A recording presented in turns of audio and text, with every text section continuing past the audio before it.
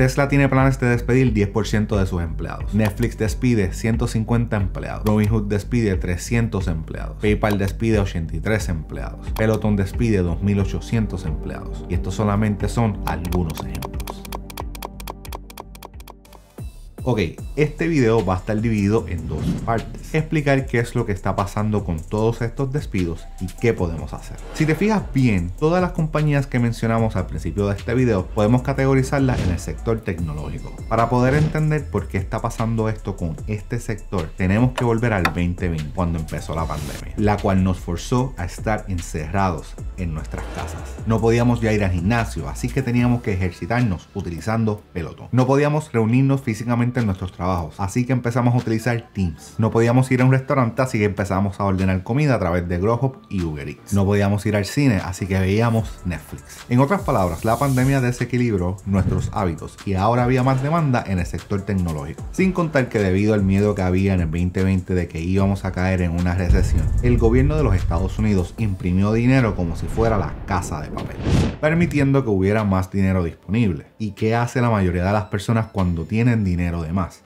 lo gastan, ya sea invirtiéndolo en la bolsa de valores o en cosas que no necesitan. El único problema fue todos los problemas que hubo y continúa habiendo con la cadena de suministros, causando atraso en muchos productos. ¿Y qué pasa cuando hay mucha demanda y poca oferta? Inflación.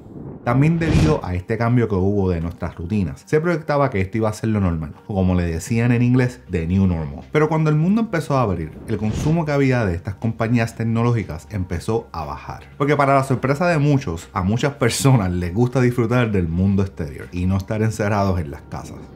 En otras palabras, había una expectativa en el 2020 y en el 2021 que estas compañías tecnológicas iban a continuar creciendo, pero no lo hicieron. Esto lo vimos recientemente cuando las compañías empezaron a reportar sus números del trimestre pasado y muchas de ellas no reportaron los mejores números. Hasta Netflix reportó que por primera vez en su historia perdieron suscriptores. Sin contar que debido a la inflación que está ocurriendo, el gobierno de los Estados Unidos se está enfocando en poder manejar esto para así no llegar a lo que es un stagflation.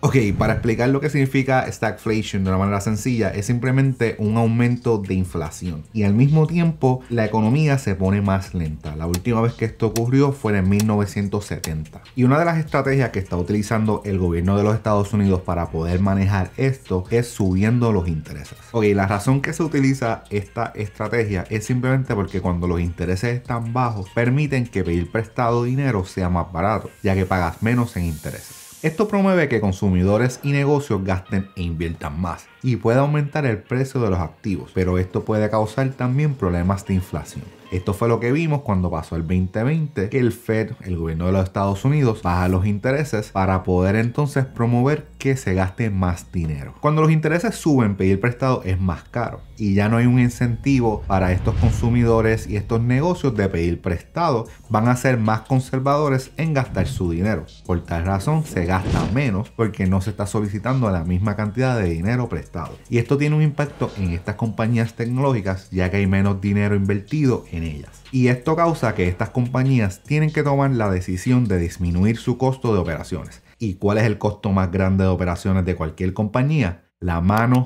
de obra. Una pequeña pausa, si le has encontrado valor a este video, por favor, destruye ese like para que así YouTube lo promueva a más personas. Si no estás suscrito a nuestro canal, piensa suscribirte. Nosotros hablamos de finanzas personales y hacemos videos como estos todas las semanas.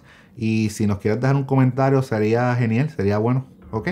Continuemos con el video. En un video anterior nosotros explicamos en detalle por qué es esto y vamos a dejar el enlace de ese video en la descripción abajo, pero también va a aparecer al final de este video. Pero básicamente lo que explicamos en ese video es que un empleado en promedio le cuesta a una compañía de 30 a 40% adicional de su salario. Por ejemplo, si tu salario es de 100 mil dólares, quiere decir que en realidad tú le cuestas a esa compañía 140 mil dólares en promedio, debido a los beneficios y seguros que tiene que pagar esa compañía. Esta es una de las razones que también muchas compañías han decidido poner en pausa contratar nuevos empleados.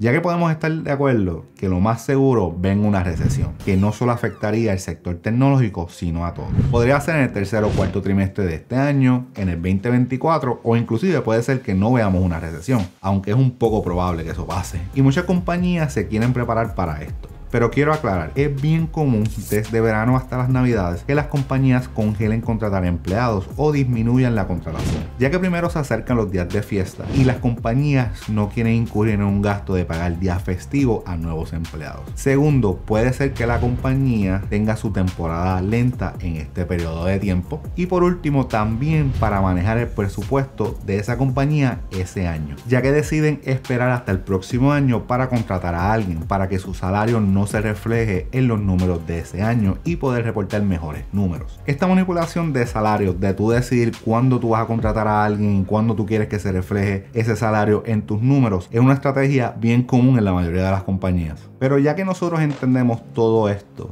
¿qué podemos hacer? Independientemente si caemos en una recesión o no, creo que siempre deberíamos estar en una posición de que si nos despiden mañana de nuestro trabajo, podamos manejarlo de la mejor manera. Porque si venimos a ver, uno nunca sabe cuándo lo despiden del trabajo. Pero hay ciertas cosas que podemos hacer financieramente y profesionalmente. Financieramente tenemos que trabajar en tener nuestro fondo de emergencia, reducir nuestras deudas, especialmente las de tarjetas de crédito o préstamos, y buscar otras maneras de ingreso. Profesionalmente recomendaría que crees una cuenta con LinkedIn no sé si lo pronuncié bien, que si no sabes lo que es, es como un Facebook pero profesional, el cual entras tu información laboral y es como tener un resumen en línea. Lo bueno de esta red social es que muchos reclutadores la utilizan y te contactan para hablarte de puestos que están disponibles y que tú cualificas. A mí me llegan mensajes todo el tiempo. Aparte que permite que tú puedas conectarte con otros profesionales. Y muchas veces las personas obtienen los trabajos que tienen no debido a sus cualificaciones, sino a quien conocen. Actualiza tu resumen. Si no lo has hecho, la recomendación es que una vez al año, si estás empleado, revises tu resumen. Y es importante que cuando tú hagas tu resumen siempre pongas cosas tangibles. En tu trabajo siempre trata de aprender habilidades nuevas, ya sea aprendiendo nuevos procesos o aprendiendo a operar un equipo ya que entre más ventaja tú tengas en tu trabajo por el conocimiento que tengas, más indispensable eres. Pero a lo mejor este es el mejor consejo y lo acabo de mencionar y es que trates de trabajar en otras maneras de ingresos. Porque al final del día en tu trabajo su meta, su prioridad es generar ganancias y tú eres el impedimento más grande en tu trabajo, en esa compañía para que logren esta meta. Inclusive se proyecta que para el 2030 375 millones de personas pierdan su trabajo. Si quieres saber más de esto, te invito a que veas este video que vamos en detalles explicando por qué es esto. Y nada, eso es todo por hoy. Chequeamos. Hasta la próxima.